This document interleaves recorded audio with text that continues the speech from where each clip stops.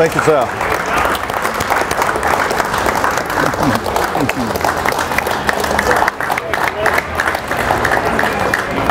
Congratulations, man. Yes, sir. Well, well deserved and well earned.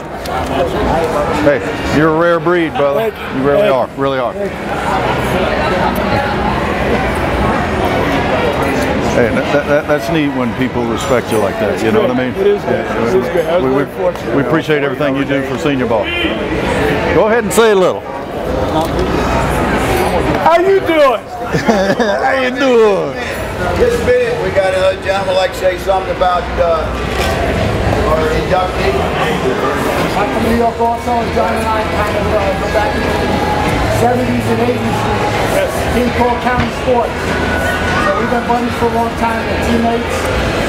And John and I joined the team. There was a gentleman on the team at that time named Jim Galloway. A legend, unbelievable player. And as far as legends go, John is the best ball player.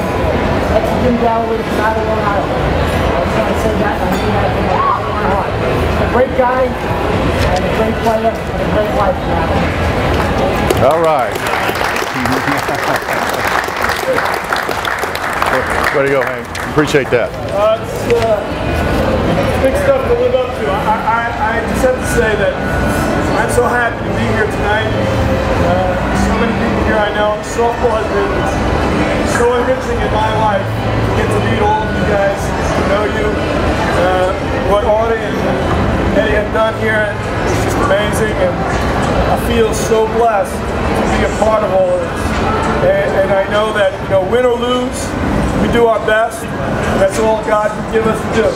And I, I just hope that everybody here goes out of this healthy and happy. And I can't tell you how much this means to me. Eddie, thank you so much. Thank you. Listen, well earned.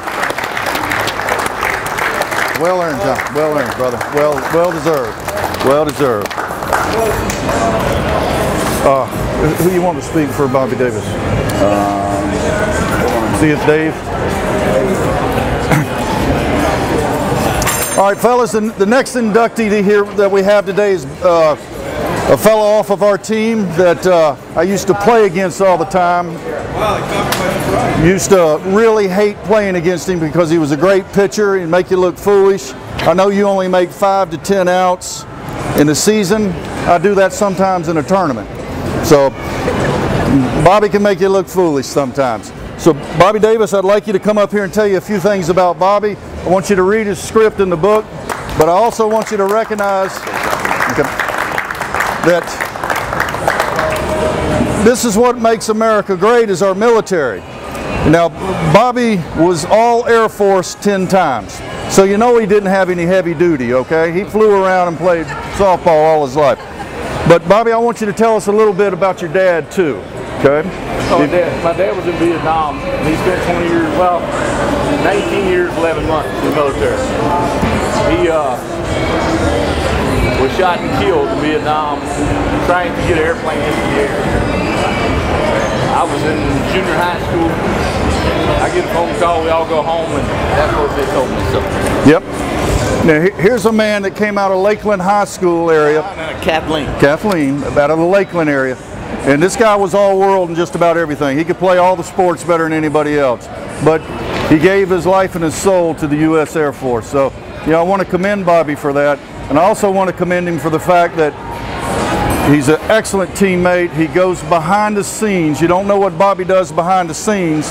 He does things. He helps people, people that are hurting, people that are down in their luck, people that have lost their jobs. Bobby's funneled money to a lot of people that don't even know who provided that. And that's very, very rare to have a guy like that that seeks no recognition. So, uh, in my mind, this is what a legend is all about. It's not only a great player. If you're playing Major Plus, you're already a great player. We know that. But a legend goes a little bit above, and that's what we want to recognize and begin to recognize because, guys, they would like to do away with the Major Plus. But you know, there's thousands of baseball teams, and there's only a few in the major leagues. And you guys are in the major leagues. And I don't really care about going to a tournament with 50 teams if I know we can beat 48 of them. Doesn't mean a thing to us. It means something to play against the best and occasionally win. And so Bobby Davis is one of those type guys. He's taught me a lot. And so Bobby, we appreciate all that you've done for us, okay? And you are definitely well deserving of this. Okay? Want to grab that? Want to grab that behind you there, Ed? And go ahead and just say a few words, if you will, Bobby. First off, I'd like to say thank you to Audie. When I started playing with Audie and him, I was actually playing for another team in Florida Half Century, and all he comes over and says, hey, how about coming playing for me? Well, back then we didn't really get along. We didn't like them, they didn't like us, because Eddie was always cheating for he was always bringing in the illegal bats and whatnot. Just ask any guy on my team, Eddie uses nothing but illegal bats. But then Audie says, hey, look, we'd like to put together a 50 team, 55 team, a 60, and 65, and just move up every five years. That's okay. Audie spends a lot of time spending his money to send us to different places by sponsorship. But not only is Audie a good sponsor, but he's a hell of a friend. A great friend. You need something, Audie will take care of you. Next guy, Deb Rome. Great motivator, great friend.